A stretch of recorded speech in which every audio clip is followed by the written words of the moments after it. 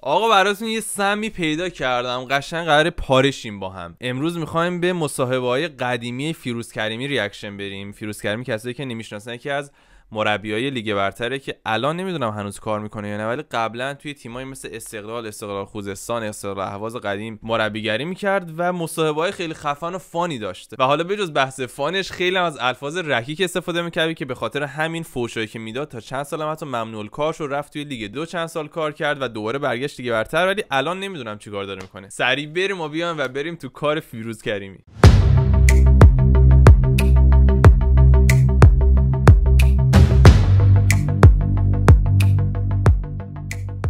اول از همه کانال subscribe نکردی حتما subscribe بکنید و کامنت انگلیسی هم بذارید که حسابتون نپره. نکته دوم که هشتگ راسکود فراموش نکنید هر جا توی فضای مجازی فعال هستید هشتگ راسکود بزنید تا خونوادمون بزرگتر بشه. این پایین هم همه فضای مجازیمون هست. اگه follow نکردید حتما follow بکنید. اما بدون هیچ وقت تلف کردنی بریم سر وقت این ویدیو.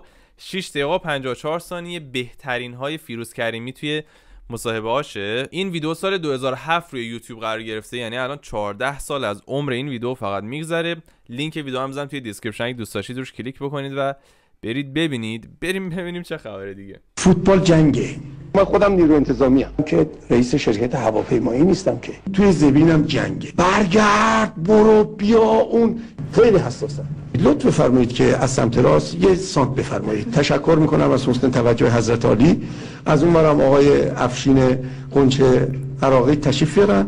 لطف بفرمایند یک سر بنوازن با عرض تشکر و سپاسگزاری. آقا مرمری رو سنگین این فکر کنم چیزه تیمشون باخته بود سر این قضیه. از الفاظ رکیک استفاده کرد و فوش داده بود به بازیکناش. بعد فدراسیون بهش گیر داده بود که چرا از الفاظ رکیک استفاده می‌کنی؟ بعد اومده گفته من اینطوری بعد حرف بزنم پس یعنی خیلی مؤدبانه.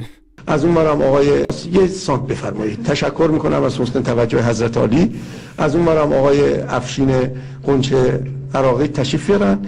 لطف بفرمایند یک سر بنوازن با عرض سر بنوازن تشکر و سپاسگزاری. آقا مرمری رو سنگین نبودن.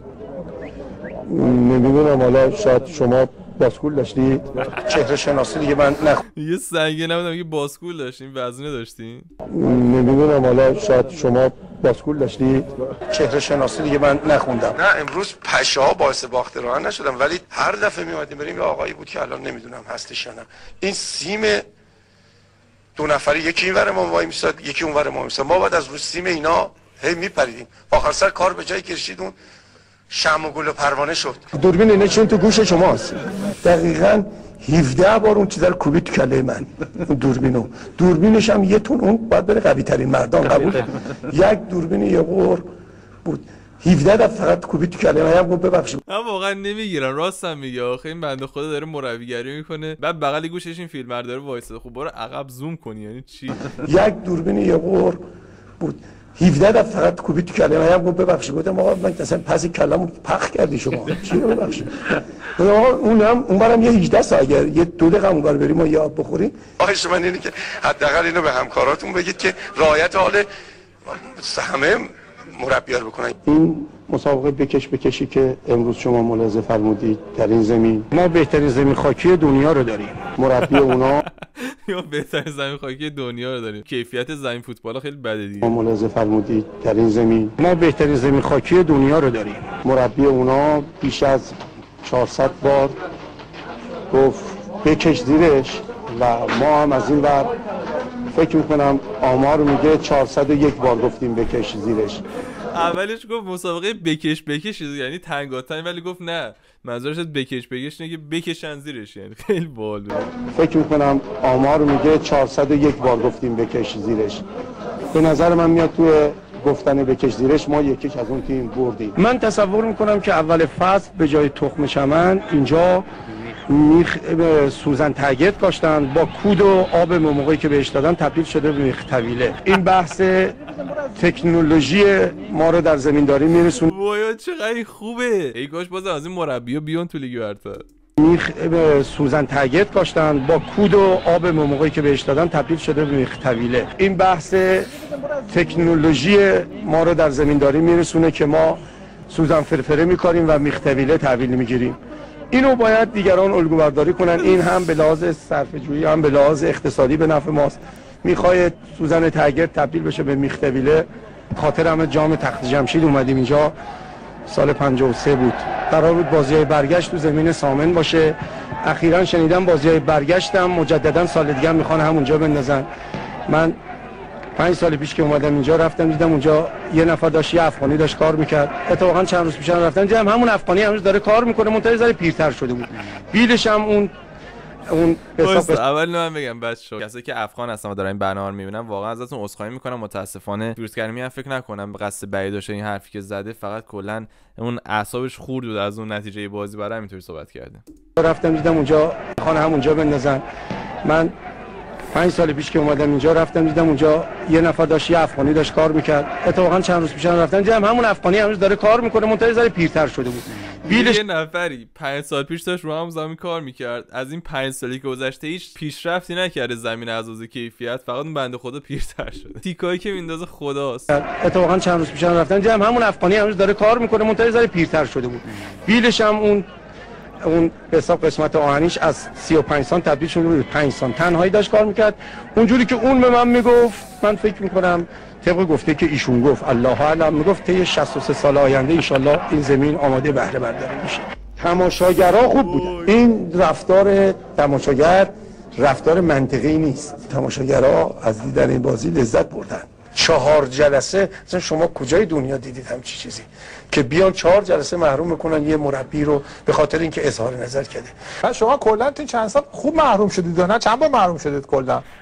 من یه زمانی خیلی محروم می‌شد. میگم دلیلش هم به خاطر این فوشایی بود که می‌داد. و شما کلا تو چند سال خوب محروم شدید نه؟ چند بار محروم شدید کلا؟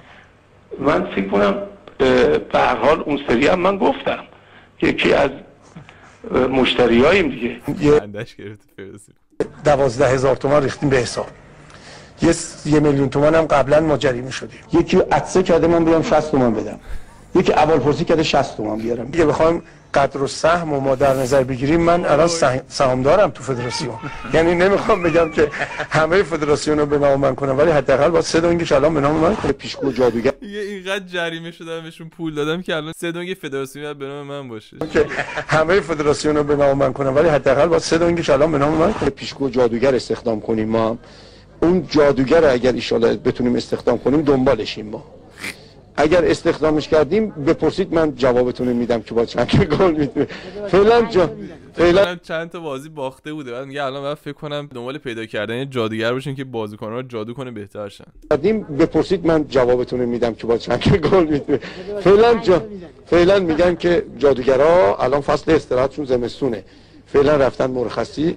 بر در برگشتشون ما هم جادوگر استخدام کنیم خدمتتون میگیم چه چند چند. کته کت جادوییه خیلی وقته شما اینو میپوشین. اتفاقا اعتقاد خاصی بهش اتفاقا کت شانس بود. حالا باید آتیشش بزنم. مطمئن باشید برسم خونه آتیشش زدم. قبلیه رو شش بار آتیش زدم. یکی رو فرستاده بودیم که این مهره رو قبلا برداشته بود ولی حدس می‌زدیم که شاید مهرهای دیگه ای باشه با کسب اجازه. خودشون من تفتیش بدنی کردم و متوجه شدم که بازم مهره داره مهره رو برداشتم. می‌خوام شاهد زنده داشتم که مهره رو برداشتم که نتونه از این مهره استفاده کنه. هر دفعه ما فرستادیمش برای شیریاخت باخت. و اونجایی که ما می‌خواستیم زمینی که ما می‌خواستیم نمی‌تونست تهیه کنه.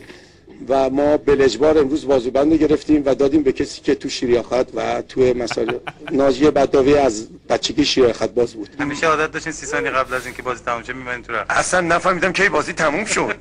ما خودمونم من خودم ترسیده آره من خودم ترسیده بودم از اون جذبه محکمی که آقای قهرمانی گرفت. خدا وکیلی من ترسیدم.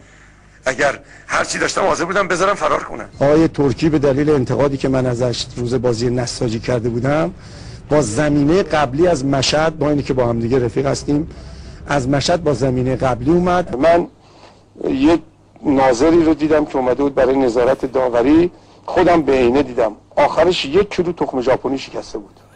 من رفتم دیدم به اندازه یه سطل آشغال جلوش پستو ناظری کیفی اومده بازی اینا یک کیلو تخمه خورده. من رفتم دیدم به اندازه خیلی با جدیت این شوخی ها رو می‌کنه. قشنگ می‌تونه بازیگر بشه این بشه. آشغال جلوش پسته و تخم ژاپنی بود. ولی الحق و انصاف عالی سود زد. اکثرا هم از همین نوع تخم استفاده می‌کردن که خب اینم برای ما جای شگفتی داشت که چرا فقط تخم یکی هم ندیدیم که تخم کدو بشکنه. الحمدلله به مزاجشون سازگار بود تخم ژاپنی و پسته. دقیقا هشت دقیقه بعد از این که همه رفته بودن خونش اون گفتش که این از یکی از بهترین ویدئویی که بهش reaction رفتم فکم درد گرفت از خندیدن دقیقا هشت دقیقه بعد از این که همه رفته بودن خونش اون گفتش که از کلیه تماشاگران فهیم من خواهش می‌کنم که حرمت تیم میهمان داوران و بازیکنان تیم حریف رو داشته باشن در صورتی که من اومدم ببینم که دیدم یه نفر نیست. میگه 8 دقیقه از وقتی که همه رفته بودن گفته حرمت مربی رو نگه داره. بازیکنان تیم حریف رو داشته باشن در صورتی که من اومدم ببینم که دیدم یه نفر نیست. فقط یه کلاق تو زمین بود. من که نمی‌تونم برم کلاق دستگیر کنم بیارم بگم اعتراف کنه که بوده دیگه. وقتی که بوده من رفتم اونجا 8 دقیقه بعد از بازی یه دونه کلاق دیدم. مشکی هم بود آدرسش هم این بود. میلاد میداوودی خب یکی از بازیکنان سرعتی ماست. اومد بره تو زمین واسه اینکه وقت تلف نشه فرستادم گفتم برو دکتری بگیر بگو بیاد بیرون تا نرسید بهش. دعوا نکردم گفتم شما 100 متر رو شنیدم 7 ثانیه. بن جانسون هم سریعتر بودیم. با یک کیف هم دستی بود فکر کنم سیمان توش بود. 100 کیلو بود کیفه. با اون کیفه میلاد بهش نرسید. دکترمون هم که میره بالا سرش تجربه نداره تازه آوردیم دکتر. وای چقدر این خوبه. بچه اگه بازم ازش مصاحبه ای هست برام بفرستی 100 درصد reaction میره. با اون کیفه میلاد بهش نرسید. دکترمون هم که میره بالا سرش تجربه نداره تازه آوردیم دکترشون. از اینا می‌ذاره می‌خواد همونجا جراحی کنه. من سرعتی خورده بودم به پست ما دکتره بازیکنهای تیم حریف. اون تماشاگره همه از شانس بد ما خورده بودن به پست ما. و تمام عجب ویدئوی funny بود خدایی. بچه ها بازم بهتون میگم اگه از این ویدیو مخصوصا از فیروز کریمی هست برام بفرستید یا توی comment section لینکش رو بذارید حتما بهش reaction میرم. دمتون گرم که این ویدیو رو نگاه کردین. لایک و subscribe یادتونه تا ویدیوی بعدی. مخلص. کی خوب خودشه؟ کی برای خودش و خدای خودش زندگی می‌کنه؟ کی قبول داره این که تو دنیا هیچ کس نیست غم و اندوه نداشته باشه؟ نداریم. شکلش فرق می‌کنه.